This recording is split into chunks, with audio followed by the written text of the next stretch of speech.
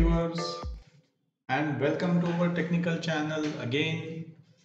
We are having a series on pipe fittings introduction to pipe fittings. In this series we are going to discuss the most common pipe fittings that are used in uh, industrial as well as the uh, MEP piping that is the plumbing uh, which this information will be very useful for the site as well as the design team people. So today we are going to discuss the swage nipple uh, which is a type of a pipe fitting. So to understand the swage nipple we have to understand what is a pipe reducer. So here we will try to understand what is a pipe reducer. So if there is a pipe which is having a size of say 6 inch and if I want to reduce the diameter of the pipe to say 3 inch then we have to use a fitting called as a reducer. So here you can see the images of a reducer. There are basically two types of reducer. One is the concentric reducer which is shown here and the other one is the eccentric reducer. From the name itself you can find out that the concentric reducer the axis of the larger and smaller dia is same the center is collinear. Whereas in case of the eccentric reducer we can see that the major dia and the minor dia the axis is offset to each other. This is the basic difference.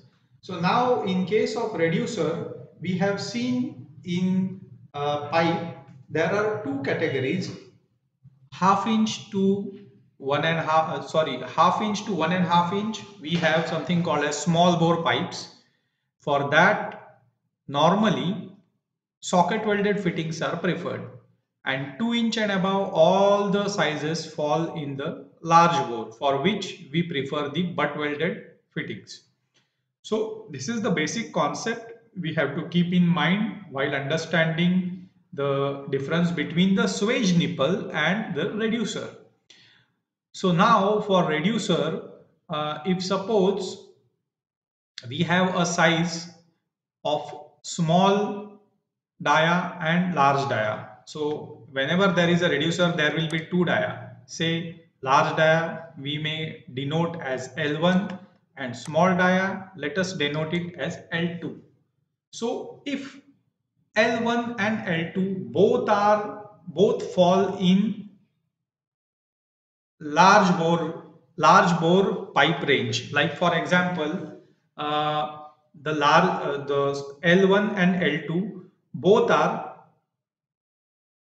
from 2 inch and above sizes then there is no problem. We can use the reducer fitting that is concentric reducer or eccentric reducer because on both the sides L1 and L2 we are going to use the butt welded fittings.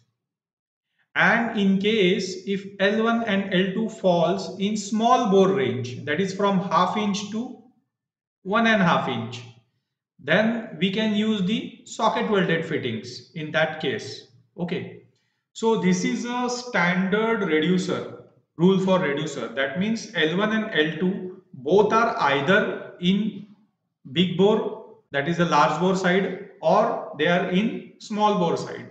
But there may be some condition where L1 that is a large bore may be in bigger bore that is maybe 4 inch and the small bore may fall into the uh, sorry the L2 that is the smaller dia of reducer may fall into the small bore sizes that is from half to one and a half.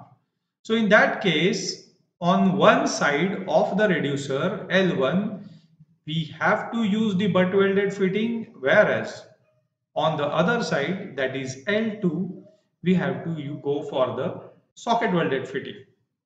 So in that case we cannot use this conventional reducer, be it uh, concentric or eccentric. So in that case, there is a other fitting called as swage nipple. So this is the swage nipple we can see. So to understand the swage nipple, the dimension standard that is applicable for swage nipple is MSS SP 95. This is the American standard. And then BS 3799. This is the British standard. These are the most commonly used. Mostly MSS SP 95 is used. So here we have a cross-sectional drawing which is shown here. So this is the swage nipple. Okay. And on L2 size, that is the small dia of the reducer, we are using the full coupling. Okay. So this is a pipe which is inserted into the full coupling, one side of the full coupling and here we are doing the welding. And this is the uh, small bore pipe, say one inch. And from here we are doing the socket welding. And on the other side for example this is 3 inch pipe. Directly the pipe is welded with the swage nipple and that is the butt welding. So this is the type of fitting on one side it is butt welded on other side it is socket welded so that is the purpose of using the swage nipple so on this side we can see swage nipples are exactly same like the reducer. It can be a concentric swage nipple. It can be a eccentric swage nipple. So uh, and also uh, the small bore size on this side it can be a socket welded or it can be a threaded also. So there are two options that are available on the small bore side that is either threaded or socket welded. So this was a very small introduction uh, to the swage nipple. So stay connected with our channel. We are going to bring many more videos which will introduce you with the fittings and uh, simple thumb rule calculations of those fittings and information which is though simple but very important as far as the uh, site and design teams are concerned. So stay connected with us and uh, request you to subscribe to our channel, like our channel and as far as possible share this information. This is a very valuable, valuable information and in fact this is your channel. So uh, it is your uh, responsibility to see that it, this information should be shared with all your friends and all your colleagues. Uh, thank you once again for watching this channel.